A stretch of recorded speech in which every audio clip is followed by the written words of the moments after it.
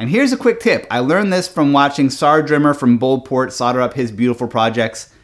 Typically, when you solder a connection together on a through-hole circuit board like this, you get what looks like a little mountain of solder. Then you can come back through and trim it down, and maybe you get something like this, and it's tidy and it gets the job done.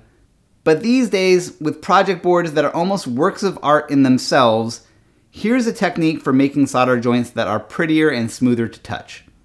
Take that same joint you just made and use flush cutters like these $5 Hakkos to trim the joint right down to the board. Then come back around with your soldering iron, reheat the connection very quickly, and hit it with just a touch of solder. It takes some practice, but if you get it right, you get a perfect little dome. Something about the surface tension of the new solder and the lack of any central element poking through makes this happen. And when you apply this technique over an entire board, it almost looks like it's been put together with little rivets. It's a nice look and it's smooth to touch.